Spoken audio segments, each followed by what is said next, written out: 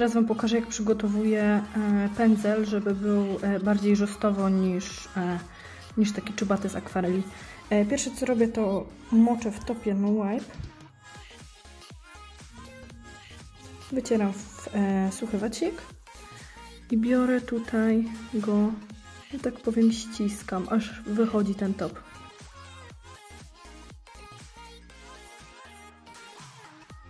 W białym kolor żelu i sobie sprawdzam tutaj. Rozpracowuję i jeszcze raz. No i dobra. I lecimy. Pierwsze co robimy to pierwszy płatek u góry. Tak, tam gdzie się rozchodzą i jednym pociągnięciem. Jeśli jest on niewyraźny, to dokładamy.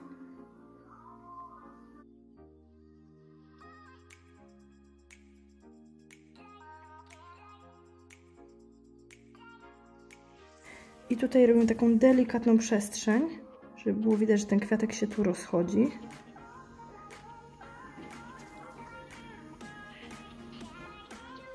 I lecimy.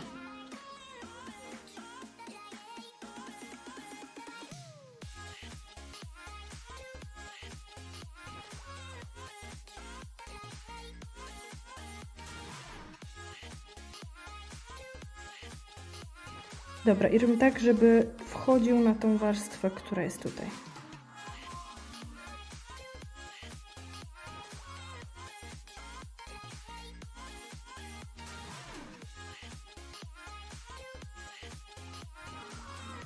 Dobra. I tutaj staramy się wyciągnąć jak najdalej, ale już nie dobieramy nic. Po prostu rozcieramy to na tym, co mamy.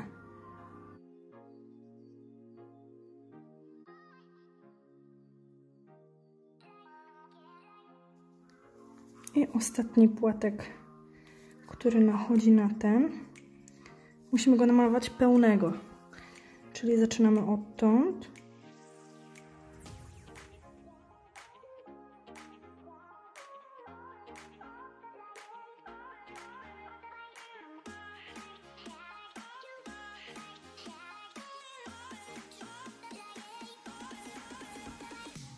I teraz bierzemy poprawiamy wszystko od nowa.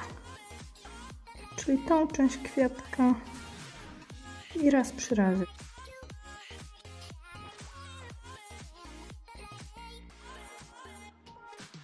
Wszystko cały czas powtarzamy.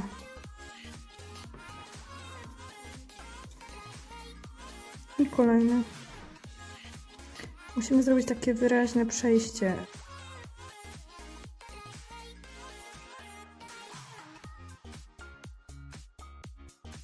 ostatni.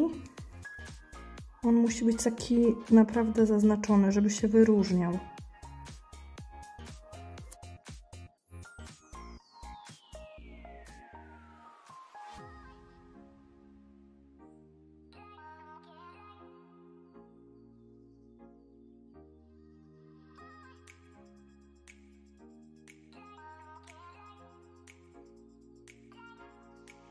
No i teraz bierzemy samą kolorzelę, jedyneczką, cieniutką.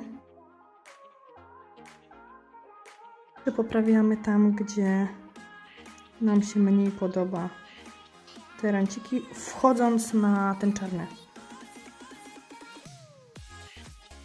I robię kropeczki pędzlem.